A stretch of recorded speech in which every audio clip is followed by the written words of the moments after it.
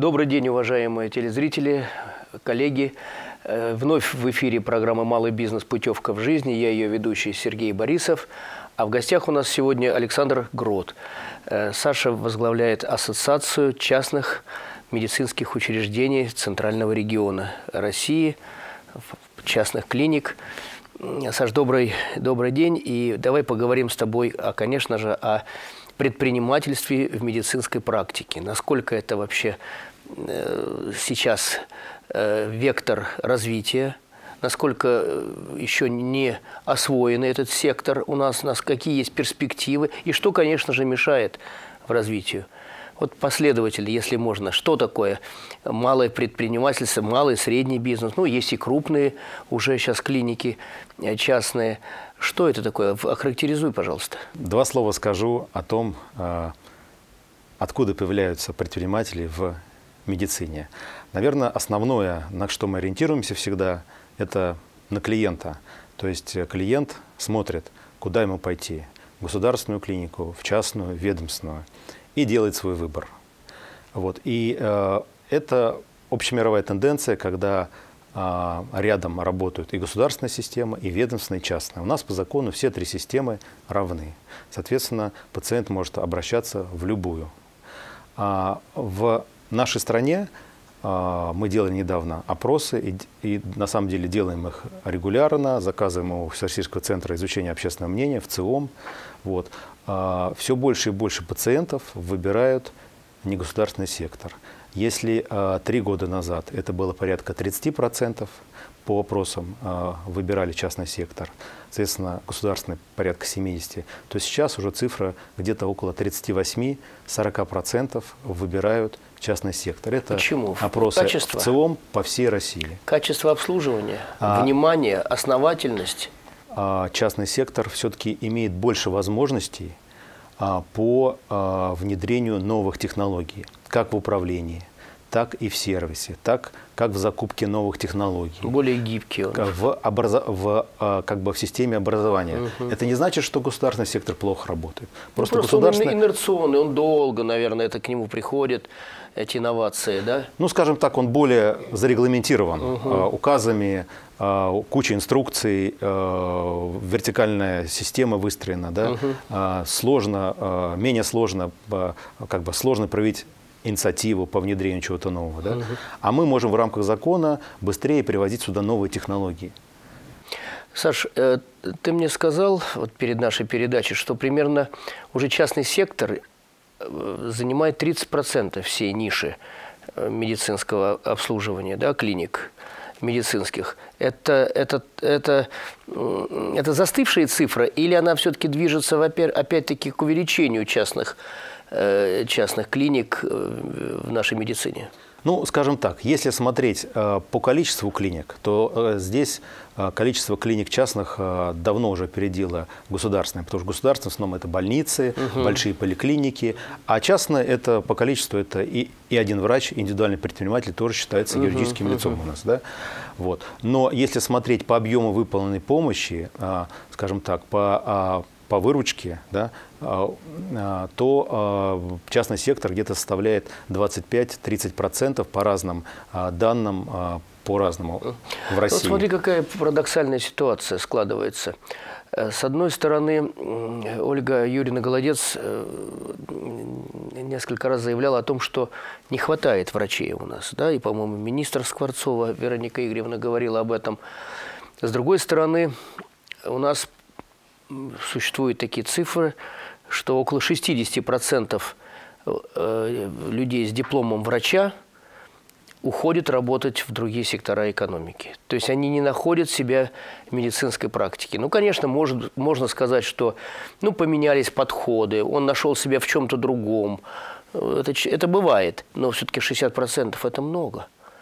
Вот э, что это такое? Может быть, все-таки эти люди могли бы найти себя в своем деле – персонально быть ответственным за результат, и конкуренция могла бы быть повыше государственных и частных, она, конкуренция совершенно э, не должна нам говорить о том, что кто-то будет с кем-то воевать. Это нормально, это будут подтягивать, все будут подтягивать общий уровень.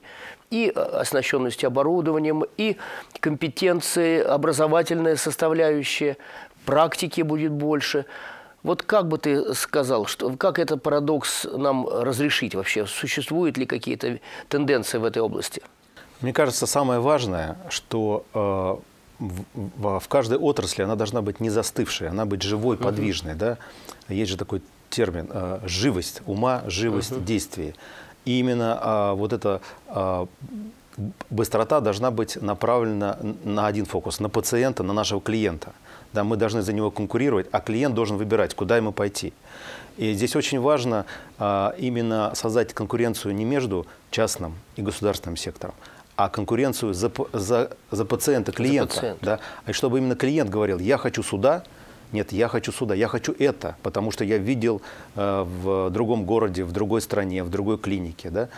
Вот. И это повышает качество и, главное, удовлетворенность, потому что, к сожалению, пока под, там, опять же, опросом э, центра в ЦИОМ, у которого мы э, заказываем их регулярно, и который, в принципе, подтверждается Министерством здравоохранения, э, министр об этом говорил, президент данные озвучил, они пока не велики. У нас удовлетворенность едва ли по России э, превышает 40% это, это вот. не говорит и опять-таки о частном, не частном. В целом не, есть некая а, удовлетворенность населения, да? А, удовлетворенность все-таки мы говорим о государственном секторе. В частном а, секторе удовлетворенность, она традиционно выше, потому что, а, скажем так, а, более сервисно ориентированный сектор. В частном секторе все-таки удовлетворенность ближе к 70%, а в мире она где-то ближе к 90%. Uh-huh. Да? То есть это просто тенденция. Это не значит, что у нас государственная медицина плохая. Нет.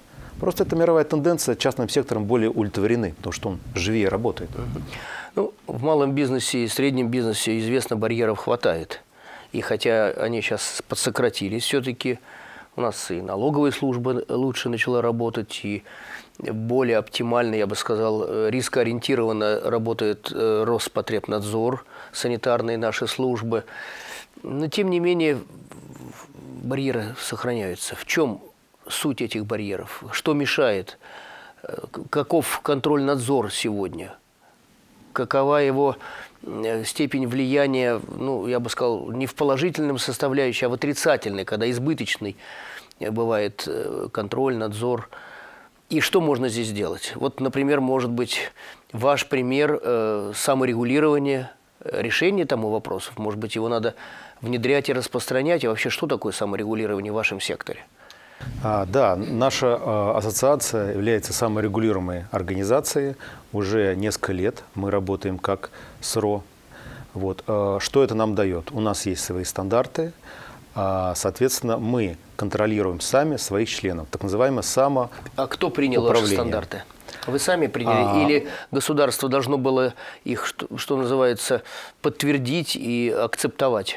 Ну, все необходимые документы мы регистрировали в Министерстве юстиции, угу. когда э, получали э, разрешение на регистрацию как саморегулируемая организация. Угу, угу. И э, дальше мы имеем возможность по закону ежегодно подавать реестр наших членов в Генеральную прокуратуру. И Генеральная прокуратура координирует со всеми проверяющими ведомствами, Роспотребнадзор, Росздравнадзор, другие ведомства, МЧС, чтобы количество проверяемых в нашей организации не превышало 10%. О, это, это называемая льгота, вот которая по закону установлена это, для нас. Это очень здорово. Получается так, что у вас нагрузка по контролю и надзору в 10 раз меньше, да, вот если ну, так всех, конечно, проверить в год-то не могут. Но, при, я, я но надеюсь. условно, если 10%, значит, в 10 раз меньше, чем э, у тех, кто не входит в подобную саморегулируемую организацию, у них вероятность того, что их проверят, будет больше. И главное, что в органах прокуратуры, может быть, не все об этом знают, есть специальный департамент угу. по защите прав предпринимателей. Конечно, мы и знаем, нас да, просят, просят, угу. обращайтесь. Предприниматели очень мало обращаются в прокуратуру как в защитник. А мы работаем в тесной координации угу. и с Генеральной прокуратурой, и с местной да, это большое Московской достижение. прокуратурой. Это, это я был свидетель когда-то создания 294 федерального закона о контроле, надзоре, совершенствовании проверочной деятельности. И тогда Дмитрий Анатольевич Медведев, будучи президентом э, нашей страны, как раз поручил Генпрокуратуре вести эту работу. С тех пор огромное количество проверок отсекается. Э, прокуратура действительно очень объективно смотрит на природу этих проверок. А зачем, а почему? А должны быть основания. Это большое благо, а в вашем-то, в вашем-то секторе особенно. У вас должно быть... У вас цена ошибки очень велика, потому что это здоровье человека. И, конечно, у вас, наверное, к вам пристальный подход э, э, значительно выше, да, потому что вы, наверное, относитесь к своего рода таких опасных объектов – да, в этом плане, конечно, мы э, выведены из, из льготы э, проверки э, мы нас могут проверять чаще, чем чаще. Раз в три года, поскольку мы являемся Но саморегулирование опасным, да, это нивелирует все-таки. Саморегулируем отчасти это отчасти. нивелирует. Угу. Но у нас, к сожалению, очень э, динамично развивающаяся отрасль, и законодательство в ней меняется довольно часто. Угу. Э, зачастую э, это бывает э, задним числом, не всегда с э, обсуждают с нами, хотя мы присутствуем практически во всех возможных общественных советах, рабочих группах. А вот Росздравнадзор, насколько это тяжелая э, для вас организация? Потому что, конечно, разговоров ходит очень много о том, что это долго, рутинно, очень нетехнологично. И вообще, что это за система? Это система защиты нашего рынка, чтобы собственных поддерживать, да, как многие, кстати, страны создают такие Э, структуры и требования, может быть, завышенные? Или все-таки это, это непреложная истина и необходимость? Ну, здесь, наверное, основная должна быть логика в чем? Что э, любому предпринимателю, который начал свое дело, надо доверять. Угу. Да? И только если он совершил э, существенную ошибку, тогда его штрафовать, тогда можно штрафовать сильно. Угу. Но э, не надо тратить силы, время на постоянную проверку а, там, всех, всех, всех, кого можно, лишь бы проверить. И тем более с выстраиванием каких-то планов угу. а, по а, результатам проверки. Это рождает коррупцию. Поэтому, конечно, работа Росздравнадзора, с одной стороны, защищать людей, а, да, а, как бы заботиться о безопасности, а, но вопрос, что предприниматель не преступник, к нему надо относиться по-другому. Ну и, наверное, нужно, согласись, нужно все-таки тех, кто вообще никогда не нарушал ничего, медленно-медленно опекать поменьше. Ну вот э, мы являемся членами Европейской ассоциации частных госпиталей. Угу. Мы встречаемся с коллегами, знаем, как дело идет в каждой стране. Там и в Сербии, и в Англии, и в Франции.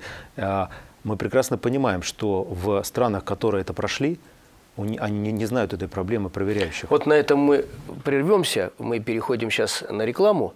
Дорогие друзья, оставайтесь с нами. Мы э, прервемся на небольшую рекламу. Это программа «Малый бизнес. Путевка в жизнь». До встречи через несколько минут.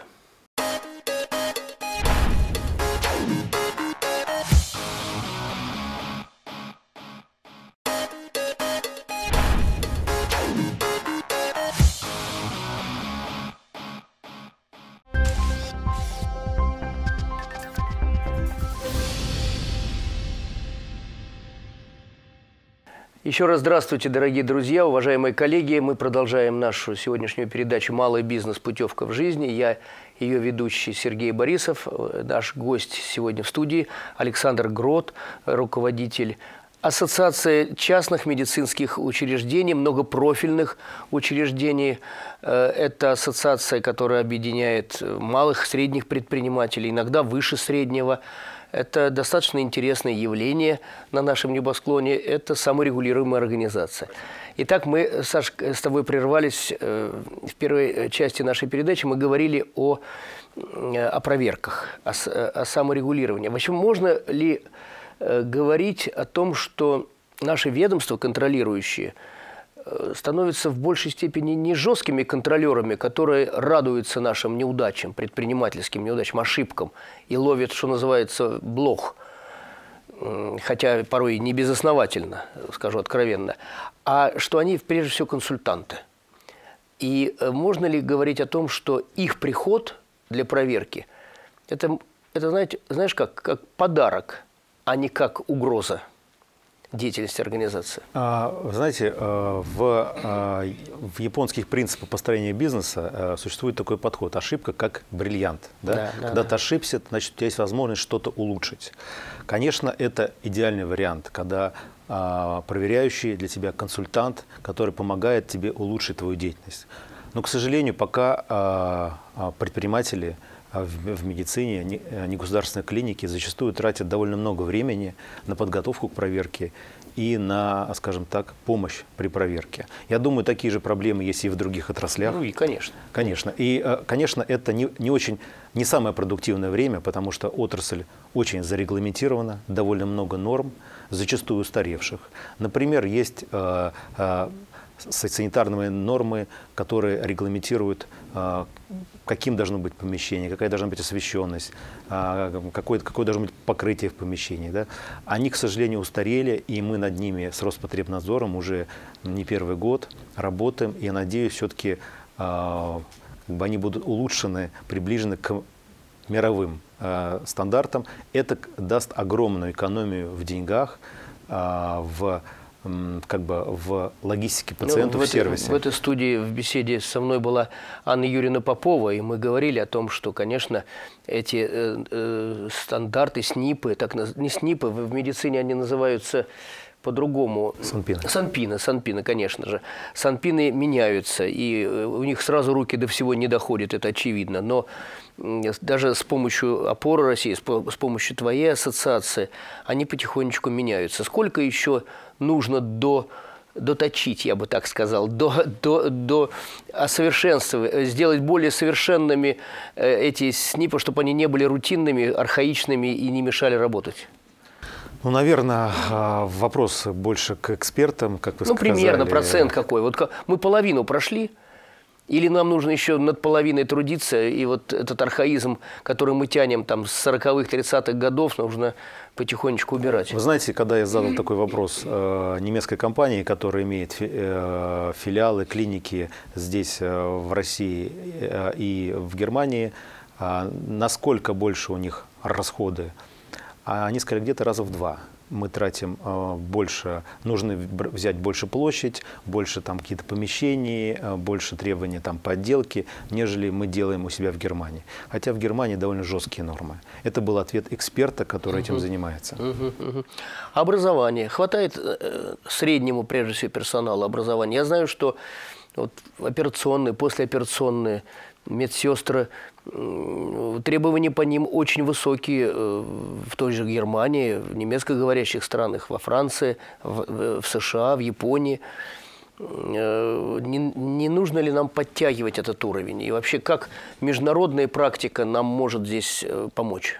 Сергей Иванович, э, как я сказал, вся отрасль находится на стадии изменения, и Министерство здравоохранения много для этого делает. Министр здравоохранения Вероника Игоревна Скворцова, а, руководители департаментов. Вот. И а, с 2016 года заработала новая система э, обучения для врачей по нескольким специальностям стоматологов и фармакологов по набору так называемых баллов. То есть мы идем к системе непрерывного образования. Угу. Каждый год врач должен проходить определенные курсы и в конце, а, через пять лет, сдавать определенный тест. Это будет не сразу вводиться, в течение ближайших там, 5, 7, 10 лет. Но мы эту систему запустили, и это очень важно. Это будет не личный экзамен, это будут именно тесты на машине, да, на компьютере? Это будет и симуляционные, симуляционные. Да, и личные и тесты, и плюс учитывается тот багаж, который ты наработал, причем не менее определенного уровня за год. Именно поэтому а, наша ассоциация является организатором. А, в этом году мы уже седьмую конференцию проводим в экспоцентре на здраво а, в декабре, и один день мы посвящаем полностью образованию 7 декабря. Вот, потому что мы понимаем, что это то, за счет чего негосударственный сектор может быть лучше. Да. Если вы сказали о медицинских сестрах, согласен, это огромный вопрос те стандарты обучения, которые у нас в России, они, к сожалению, ниже, нежели в европейских странах. Процесс идет, э, вводятся новые специальности медицинской сестры. Да, мы тоже активно здесь работаем с ассоциацией медицинских сестер, с Министерством здравоохранения. Вот, и надеемся, что, э, возможно, частный сектор здесь э, выступит неким пилотным проектом по, скажем так, э, введению новых норм. Это нам проще сделать. А частный сектор не является пионером во внедрении новых техники, технологий новых медицинских, которые, которые нужны, наверное, всем нужны. Мы это часто видим э, в клиниках зарубежных, те, кто посещал эти клиники, э, действительно уровень оснащенности там меняется с каждым днем. Вот я был в клинике Шарите в один год, потом на следующий год туда приезжаю, и там уже все другое. там уже такой космос. Здесь вы являетесь такими драйверами и по, по, задаете ритм на рынке медицинских услуг? Сергей Иванович, вы абсолютно правы все, что э, легально зарегистрировано здесь в России, мы, конечно, можем применять более гибко, более быстрее внедрять практику, потому что государство, оно все-таки регламентировано законом о госзакупках, э, там э, большая доля централизации, угу. да, и про процесс принятия решений э, сложно, что закупать, много факторов. Здесь частный сектор более гибок. Мы можем взять то, что считаем нужным, попробовать ошибиться. Мы можем быстрее отправить врача, пригласить иностранного специалиста нам с соответствующими угу. разрешениями, провести здесь образовательный курс.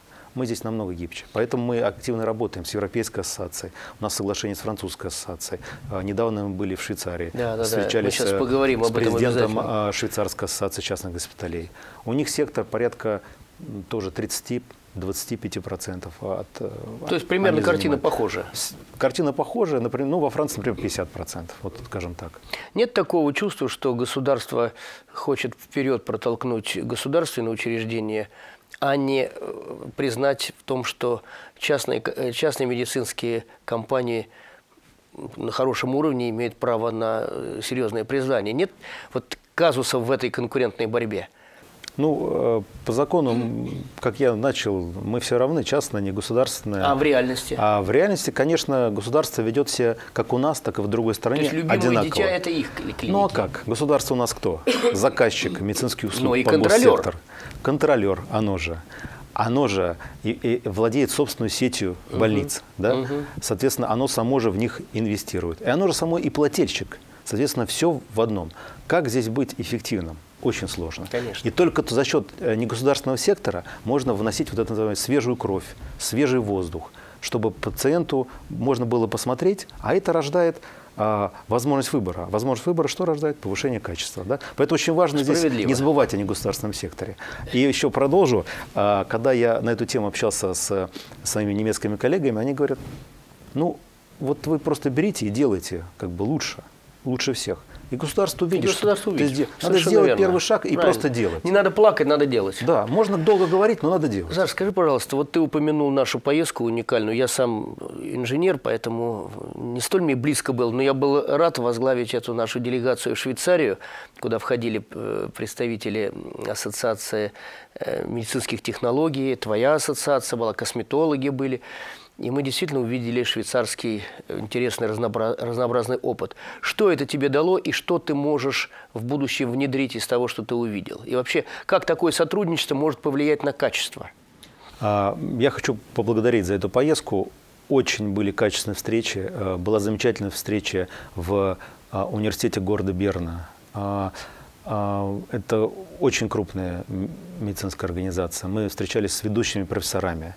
А, был очень интересный сектор по образованию в Бернском университете. Мы договорились о сотрудничестве, о том, что ассоциация будет сотрудничать с Бернским университетом по теме образования. А, дальше э, мы очень э, хорошо поговорили с Ассоциацией частных госпиталей Швейцарии, договорились подписать соглашение и работы, в том числе и по оптимизации Возможно, на предстоящей закупок. выставке в Москве вы подпишете соглашение, э, да? Да, да, я надеюсь, да. Угу. Они готовы к нам приехать. И э, встречались с Ассоциацией медицинских сестер. Они у них называются специалисты. А у нас есть такая ассоциация? Специалисты по уходу, конечно, есть, конечно, да? конечно. И а, они выразили готовность помочь нам в этом пилотном проекте по, скажем так, помощи в образовательном процессе. У них подобные процессы, а, они участвуют в подобных проектах в нескольких странах. Ну и требования у них повыше, да, чем у нас? Да, конечно, у них даже специалист по-другому называется. И градация. Не всех допустит э, специалистов определенного уровня к той или иной сложной операции там, или, или какой-то процедуре. Да? Здесь все очень э, по уровням расписано очень серьезно. Э, ну, поскольку они этим занимаются очень давно, и стандарты они поменяли там а, не вчера по образованию, а то, конечно. Но главное, что меня волнует, что наши медсестры тоже замечательные. Они учатся в то же самое время, а, а получают а, на выходе немножко меньшие стандарты, соответственно, к ним относятся больше как а, к помощникам, а на самом деле это огромная Сам, точка экономии. Самое главное, чтобы не было всяких сервиса. послепроцедурных, послеоперационных осложнений. Здесь мы проигрываем, говорят, и европейскому э, медицинскому уровню, и американскому, и японскому. Вот этому надо, видимо, учить. Саш, ну, в завершении нашей передачи мы традиционно задаем такой вопрос. Почему малый бизнес может быть путевкой в жизни? Ну, потому что, наверное, самое, одно из самых важных в жизни – это служение, самореализация, а, помощь людям. И вот здесь ты можешь э, раскрыться в полной мере. Ты можешь делать то дело, которое считаешь а, добрым, хорошим, а которое несет добро людям. Спасибо огромное за интересную встречу. Э, мы на этом прощаемся, дорогие друзья. У нас в гостях сегодня был Александр Грот, руководитель Ассоциации частных медицинских клиник. Это была передача «Малый бизнес. Путевка в жизни». Я ее ведущий Сергей Борисов. До новых встреч.